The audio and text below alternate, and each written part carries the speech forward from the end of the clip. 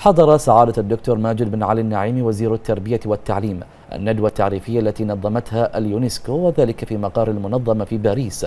تحدثت فيها الفائزة بالجائزة في دورتها العاشرة عن المشروعين الفائزين وبحضور لجنة التحكيم الدولية وعدد من الدبلوماسيين وعدد كبير من المختصين والإعلاميين. على هامش تسليم جائزة اليونسكو الملك حمد بن عيسى الخليفة لاستخدام تكنولوجيا المعلومات والاتصال في مجال التعليم.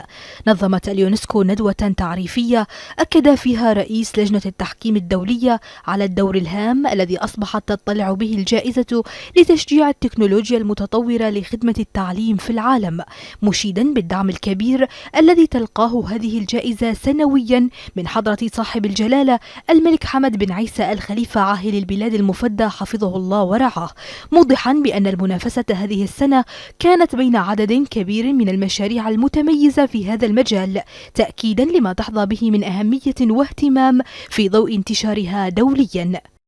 وخلال الندوة قدمت الفائزة من فنلندا عرضا حول مشروع ثينك لينك وهو عبارة عن حلول للبرمجيات تمكن المستخدمين بسهولة من إثراء الصور ومقاطع الفيديو بالمعلومات والملاحظات والصوتيات والوصلات المساندة.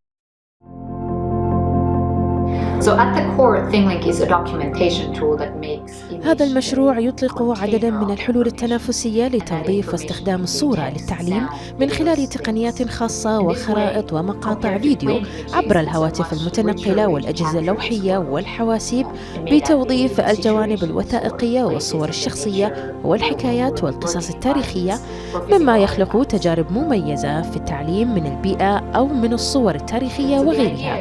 وفي النهاية فإن هذا المشروع يستهدف تشجيع الطلبة والمعلمين على الإسهام في بناء مدرسة كونية افتراضية. كما قدمت الفائزة من هولندا عرضا حول مشروع كانت ويت تو ليرن والذي يهدف إلى توفير فرص التعلم لملايين الأطفال المحرومين من التعليم والمتواجدين في مخيمات اللجوء في عدد من البلدان العربية والإفريقية. تنتشر مخيمات اللجوء في أكثر من بلد. وأكثر من 30 مليون طفل أصبحوا غير قادرين على الذهاب إلى المدارس. ومن هنا جاءت فكرة مشروع التوق للتعلم. فهذا المشروع يتصف بالمرونة والحداثة كمقاربة للتعليم عبر وسائل الاتصال والمعلومات. فالأطفال يتعلمون عن طريق الألعاب الرقمية حتى في المناطق التي ليس بها مدارس أو إنترنت أو حتى كهرباء. كما أن هذا المشروع يستطيع أن يجعل الطفل يتعلم بنفسه تعلما ذاتيا بحل المشكلات الفنية والتقنية. هذا وأشاد الحضور بالمشروعين ودورهما الكبير في نشر التعليم للفئات المحتاجة ضمن أهداف الجائزة والتي تتوافق مع أهداف منظمة اليونسكو في توفير التعليم للجميع.